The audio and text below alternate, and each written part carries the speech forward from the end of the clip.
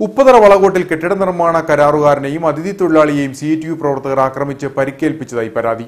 കരാറുകാരനായ പാലക്കുഴിയിൽ സിൽജൂസ് കറിയ അതിഥി തൊഴിലാളിയായ E S മജാബോൾ എന്നിവർ ഉപ്പുതറ സർക്കാർ ആശുപത്രിയിൽ ചികിത്സ തേടി. സംഭവത്തിൽ പോലീസ് കേസെടുത്തു.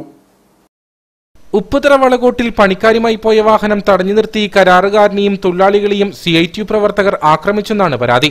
കരാറുകാരന്റെ നേതൃത്വത്തിൽ മുൻപ് നിർമ്മിച്ച വീടിന്റെ വാർക്കപ്പണിയിൽ സി ഐ ടി യൂണിയൻ തൊഴിലാളികളും വീട്ടുടമയും തമ്മിൽ തർക്കമുണ്ടായിരുന്നു. തുടർന്ന് വീട്ടുടമ കോടതിയെ സമീപിച്ച ഇഞ്ചക്ഷൻ ഓർഡർ കരസ്ഥമാക്കി. തുടർന്ന് കരാറുകാരൻ അതിഥി തൊഴിലാളികളുമായി കോതപാറയിലെ ജോലിസ്ഥലത്തേക്ക് പോകുന്നതിനിടെയാണ് പാലക്കാവിന് സമീപം പതിനഞ്ചോളം സി ഐ ടി യൂണിയൻ തൊഴിലാളികൾ വാഹനം തടഞ്ഞ് ആക്രമണം നടത്തിയതായി പരാതി ഉയർന്നിരിക്കുന്നത്.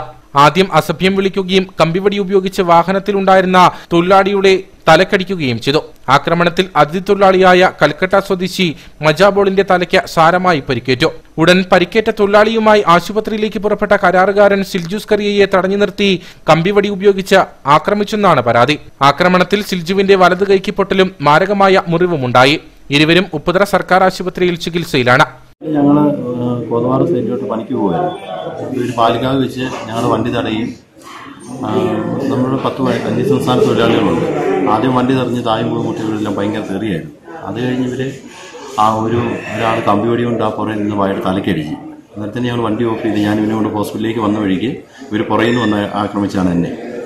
അന്നേരത്തിന് തന്നെ ഞാൻ സ്റ്റേഷനിലോട്ട് വിളിച്ച് സാർ ഇതുപോലെ എന്നെ ആക്രമിച്ചുകൊണ്ടിരിക്കുമെന്ന് പറഞ്ഞ് ഞാൻ സ്റ്റേഷനിലോട്ട് വിളിച്ച് ആ ഫോൺ കട്ടാകുന്നതിന് മുമ്പ് തന്നെ ഇവർ ആക്രമണം തുടങ്ങി. കാരണം സ്റ്റേഷനിൽ ആ സംഭവങ്ങൾ മുഴുവൻ അവർ അങ്ങേ തലയ്ക്ക് ഫോണിൽ കേട്ടുകൊണ്ടിരിക്കുകയാണ് ആ സമയത്ത്. യാതൊരു കാരണവുമില്ലാതെയാണ് ആക്രമണം നടത്തിയതെന്ന് സിൽജു പറഞ്ഞു. സിൽജുവിന്റെ കാലിനും കമ്പിവടി ഉപയോഗിച്ചുള്ള ആക്രമണത്തിൽ പരിക്കേറ്റിട്ടുണ്ട്. സംഭവത്തിൽ ഉപ്പുതറ പോലീസ് കേസെടുത്തു.